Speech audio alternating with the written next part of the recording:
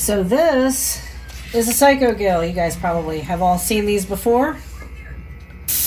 And I've got some black, some opaque black, and I really love gold on top of this. This is going to be a sunfish pattern. But we are going to do a full coat of gold over top of this, except for probably just the bottom. I'll bring some uh, some pearl white into that. And this will be a relatively quick spray. Um, I like to make sure that I'm getting inside because I'll try and make the pattern line up and flow all the way through this bait. But this is uh, Lanciotti Lures Psycho Gill. Good little swimmer, nice and thick profile, and those classic angry eyes. So, this is one of four baits that are repaints for Jeff Monteo. These three are my yellow perch. I'm just gonna leave those to the side. I've done plenty of perch and peacock bass in the way of those patterns. I just want to pull the rest of this,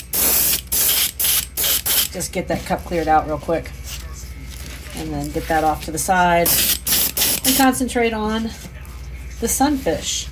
So I've got gold on here. We're to let that dry off for about five minutes and then we're to start the basic pattern. Oh yeah, let's paint something cool.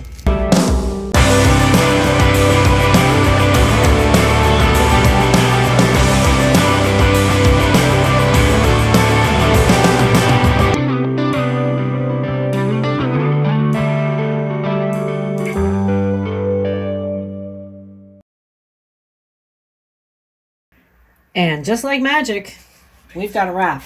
And it's okay that it doesn't go all the way down. That's probably going to be white and a fade up anyways because you don't really notice the scales. It's just the piece of fabric that I had at the time. And it's a bit of a hex here, but we're going to have a lot of fun with it. So one of the things that I like about laying a base gold over top of black is that whatever color and transparent paint you put on top of that, it's going to look really cool. So we're not going to go crazy with bold colors on this one because I really just kind of want that gold in the back to portray almost like a foiled bait, and it will. It looks really good when it's done. Um, so I'm going to keep it simple. I'm going to keep a little bit of opaque, this purple, just a little bit of iridescent violet, this really gorgeous moss green, the throat area is not going to be orange, but it's going to look orange. It's this detail burnt sienna from Wicked Colors. And then we're going to fade that back to include maybe a little bit of peach in there. You'll see almost a peachish bone kind of a color. And then we'll fade up from the bottom in like a an old white bone or an eggshell type deal.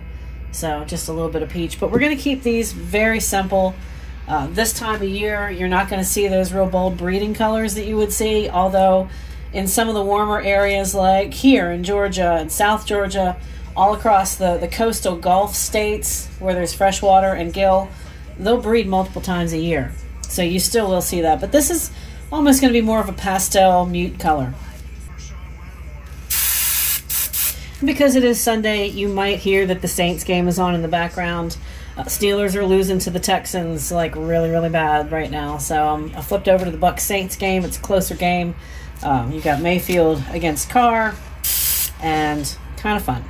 So I'm just gonna the midsection of this always happens that way.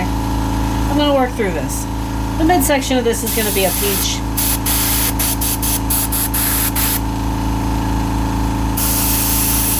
And then we'll build on top of that. I am going from light to dark on this pattern.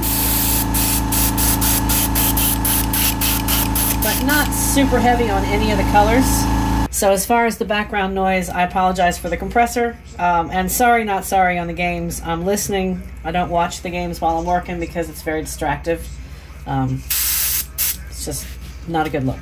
So, and I can't concentrate. Anyways, my ADHD is bad enough as it is keep my full concentration on what I'm doing here. So this is that opaque vi um, opaque lilac, sorry. And I'm just gonna kind of build that down into the belly. And then we'll fade in our whites and our pearls on the belly of this. And again, all of the stuff that's kind of meshed together on the bottom of this bait is going to be faded out once we're finished with the mesh. But the, the trick is to look natural as possible. So that's the look we're going to go 100% in, all in on this bait with. And then as we work into dark, we're going to have the moss green kind of through this. And I normally will leave the old color in. And then we're kind of model this moss green through. Come across the top of this bait here.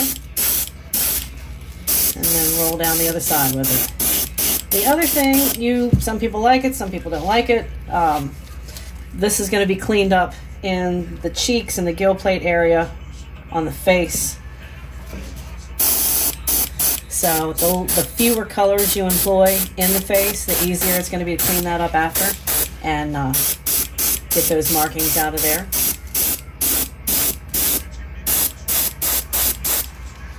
And then just kind of work that through here, there, and everywhere. Give it a little bit darker of a expression on top. And then from that, while the paint is still wet, we're going to work with a little bit of detail black magenta and just accent. I'm not going to accent in the face yet. That'll come after. But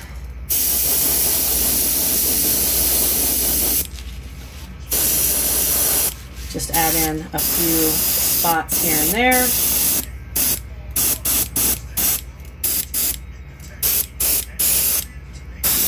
Kind of model it in on the top as well. You Don't need to go crazy with super dark colors. I have a hand cut stencil right here. Um, I, I used um, like an 8 by 10 proof photograph that I got from some of the stuff that I sell on Etsy. It was one that was kind of like a throwaway. Um, so I took that thickness, which is less than a millimeter, and tossed that in the Cricut and cut out these. Uh, I've got a few of these different patterns. This has kind of been the one that I've been rolling with lately. Um, I'm going to use some raw umber for this because after we put a little bit of flash onto it and some shift paint when we're done, um, you're not really going to notice the undercolor and what it is. But basically, just kind of move down and keep it light. We're going to keep this light.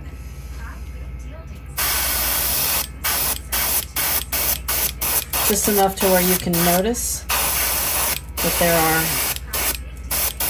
gill lines on here. Just super light. Flip that to the other side. Make sure that you don't have any sticky tacky paint on there. Do the same thing on this side.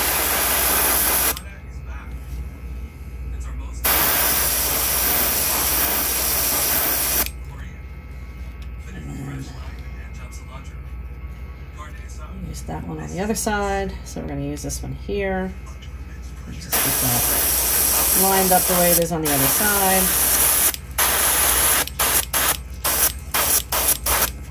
And this back half. Just enough to where you can notice that there's some, some gill lines there. Gonna toss a couple of shifters in here. These are Vallejo shifters. Uh, in a previous video, you probably heard me say uh, $26 little bottle of paint, and you can only buy these in a set. So whether you want the color or not, it's uh, anywhere between like 20 and $30. So average 26. So these I'm just gonna run down top here and then run in these vertical gill lines.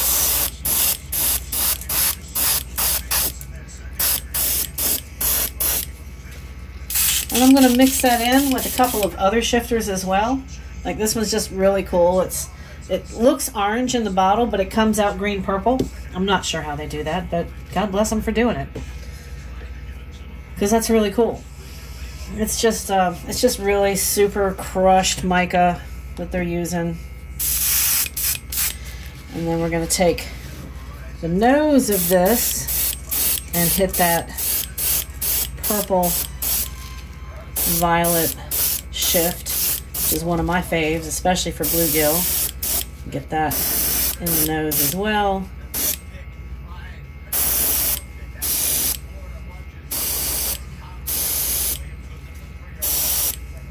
Just some random stuff in there. So now we're starting to shape up. We're getting a little, little more spiffy. Does anybody say spiffy anymore? I, mean, I just did, but I don't use that word hardly ever. Not sure why it came to mind just then, except that maybe it's Sunday and I'm thinking about Sunday supper at your grandmom's house and you hear like cool beans and antiquated phrases like that. So maybe that's where it's coming from. Been thinking about grandmom a lot lately. I do miss her. Uh, she's been gone for some time. She's been gone for a while, so it's not fresh or anything. But you still, you know, you still go through it. So I'm gonna let this get happy real, real quick, and uh, maybe do a quick heat set on it. Matter of fact, I think I will heat set. You guys always ask, are you leaving it go, or are you heat setting it? What are you doing with it? So I think on this one we are gonna heat set. Okay, I talked about this in a previous video as well. This is not shifters. This is just a three to one. So it's opaque yellow uh, in any color that you or any brand that you choose. One part to then three parts of a white. Or you can use bone, but I prefer white to get this shade of yellow. And again, it's a great gill color. It works in bass. Um, just just a couple of couple of tips for you. So yeah, we, we would be doing this. Uh, I think I used the the 50 millimeter. So just like you're mixing anything else.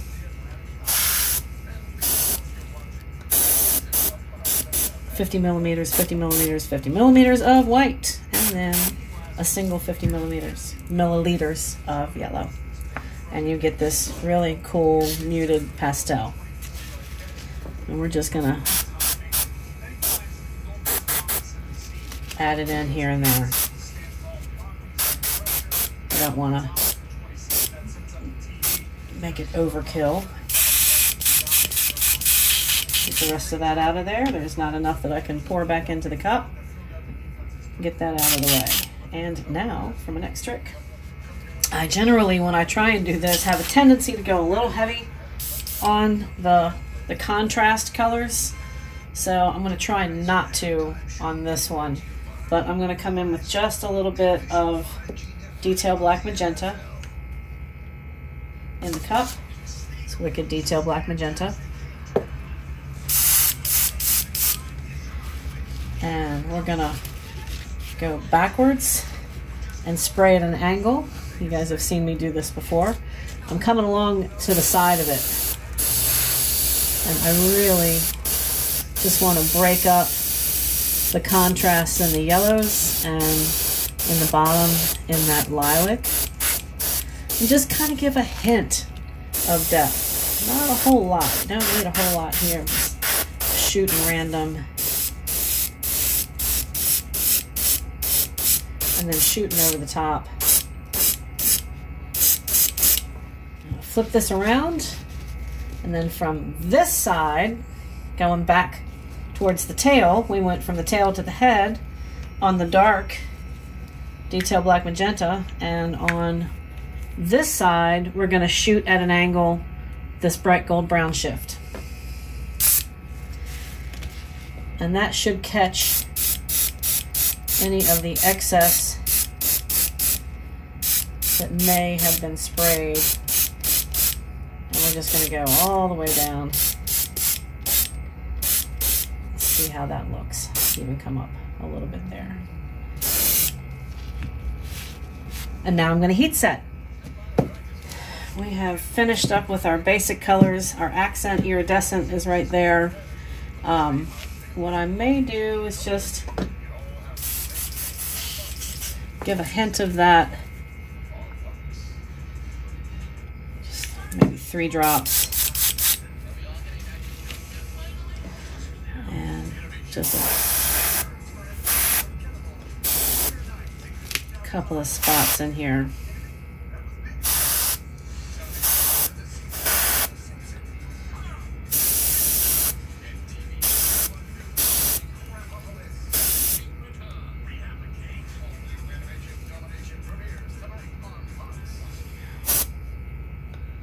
Okay. I think that should do that. We're going to carefully and slowly take off this wrap. And pull this up off of the helping hands. That would help. Not trying to be punny there, but, you know, kind of was. And then we've got the rest of this leave that alone because it's kind of, there we go, stuck like Chuck. See what this looks like. Let's see if I've completely screwed it up or if it's going to turn out okay. Hopefully the latter is true and it looks all right. Usually careful when I pull this out. want to make sure that I haven't overheat set because you don't want it to stick which is why you want to make sure that that gold is completely dry on the top before you coat your layers. And it looks like we've got a pretty cool transition going on here so far. Did all right with that. And now, put this back in the cradle. And we're going to clean it up a little bit. I have found that when you want to clean something up, um, try and start from the beginning. So gold was on here ahead of time, and I'm going to use these the same stencil because it does have curve to it. So I'm just going to bring this in. It's about 10 psi, and I'm just going to lightly build that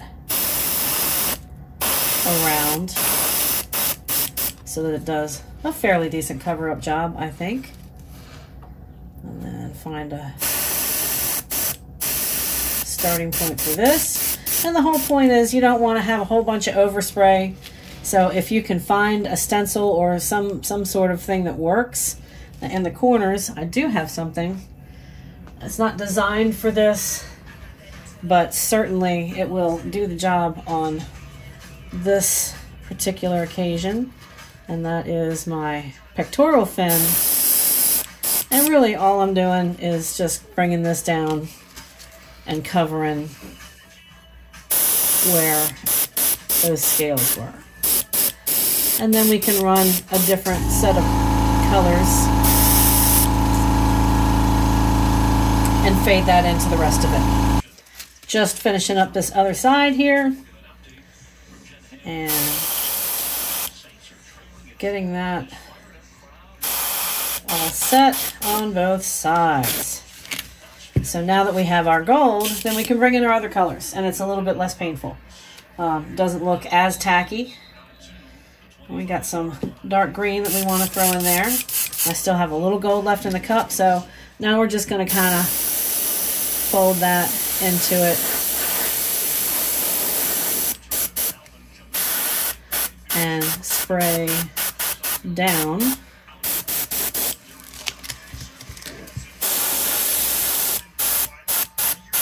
Just nice and easy. And that's just, just a quick way to clean up those scales in there. Just use the same colors you used when you were building the pattern out to begin with. Um, and don't get too heavy-handed. Just nice, light touch. You know, put a little, maybe a little peach in there. Um, and I would put peach closer to the bottom because we're going to have that going to have that orange belly. So that certainly can overspray a little bit.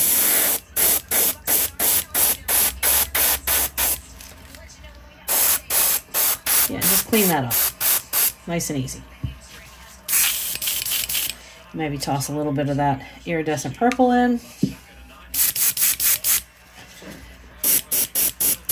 Kind of model that in to make it look a little more believable. There we go. And now,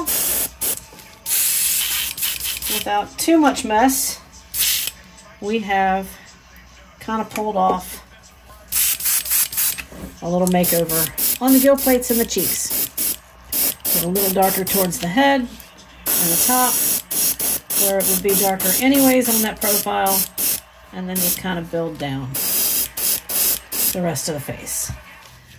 Now, I mentioned before this detail burnt sienna, not orange in the belly of this, and you're going to see how orange it really looks. I like to do a continual spray with this stuff, if for no other reason than it has a tendency to spit. It's a little thicker. So, on stuff like this, I don't want to get orange spots all over. So I'll start out off the, like if you start here, you spray and then bring it in, you're not as likely to get those spit marks. If that makes any sense. I'm probably like, what the hell are you talking about, John? You know what I mean. Where you start spraying and you've got these little blots of color that you didn't intend to put on the bait. It is Sunday. I, you know, I think maybe, I hope that I sound connected. If I sound disconnected, it's because I'm two days away from the every few year epic salmon run what I do with my best friends from up in Maryland. Uh, if you're new to the channel, I was born and raised in Maryland, uh, where one one rod one reel is. Um, not that far from him, actually. So every once in a while, we'll be fishing the same spot. And I think when he was just starting out, I might have even done. You guys remember those online tournaments? Weren't they fun? Man, I don't know what happened to them. I'm sure like cops shut them down and stuff, but those were fun back in the day. Everybody was doing them. Everybody. So cool. But anyways, getting back into it. Um, it's Sunday and I'm shooting this video for you guys. Tuesday, I am going to be leaving for the Salmon River in upstate New York with uh, my buddies Harrison and David. We all work together. Harrison was in my video in the CatchCo documentary. If you're unfamiliar with the CatchCo documentary, Go find that. As a matter of fact, it's definitely linked in the description below. So now we have this orange. And I want to go ahead and put in a little bit of white in the bottom just, just to kind of get rid of this because that's kind of irritating me. So all we're doing here, I'm going to make a couple of passes on this. We're just going to come up and fade that it's not as bad on this side because I was a little shorter on one than I was on this. And then just kind of fade that out.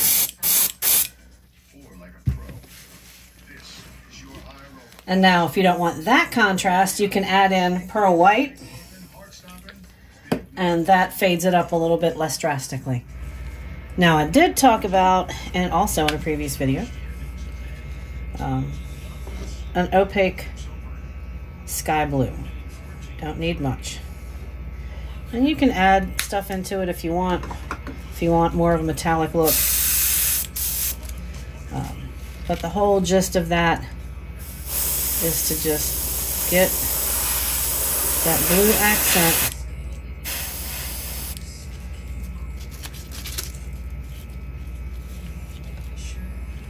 There we go.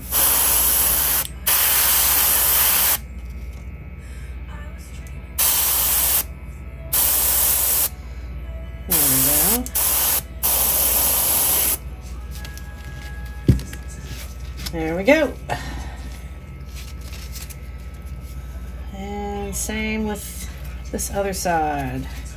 This this comes in real handy, especially with this Psycho Gill. Seems to fit pretty well.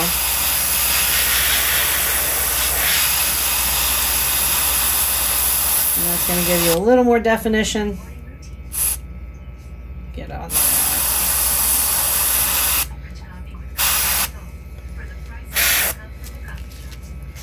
And then you just kind of follow along there. Of blend that in a little bit. And if you have light enough touch, finish that out.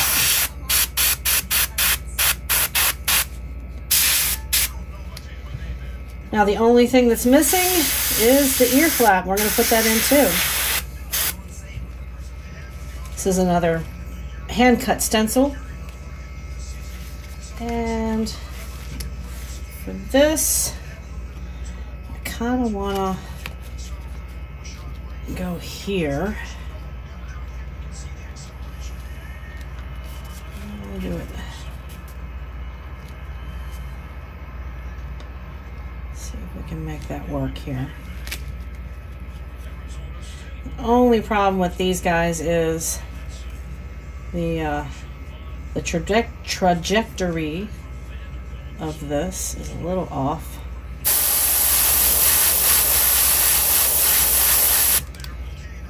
There we go.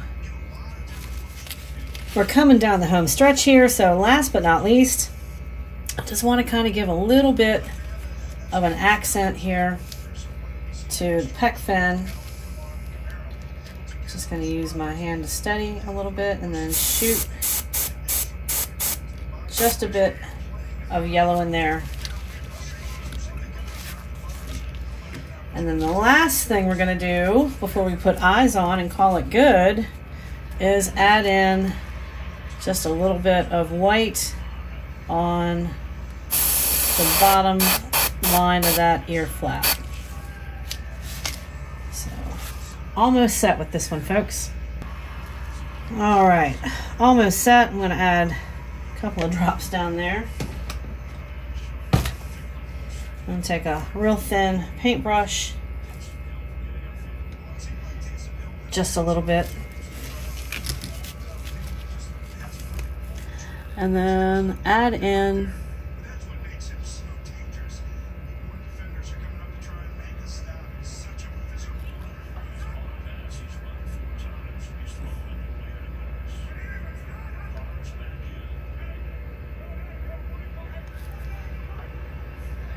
best we can there. Accentuate that.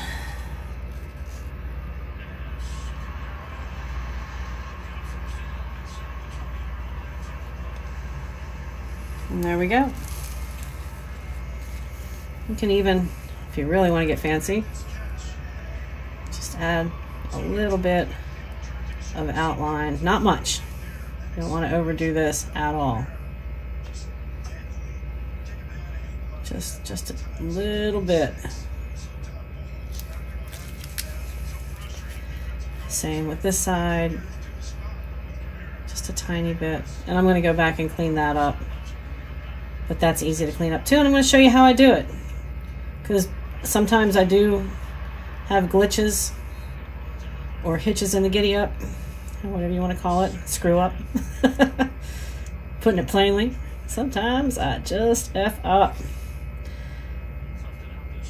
But as long as you're confident you know how to correct the mistakes, you can pretty much pretty much fix anything. And if you really, really, really screw up, you can always paint the whole thing white again and start over. Um, you never have to waste a bait, ever, ever. So with this, I'm going to use this Arteza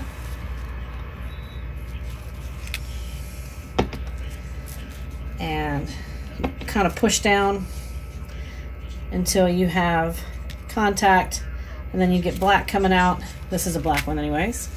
Um, and then you can just kind of correct if it's a little bit too much. So with this side, I just want to come back.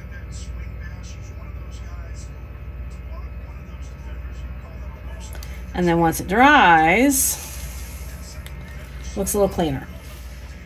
So that's it, folks. That is doing a gill on the Psycho Gill from Lanciotti Lures.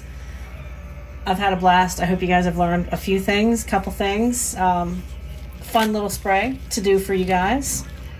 And we're going to get it in some clear coat, and I will show you the reveal in a shop update, which I'll probably film tomorrow.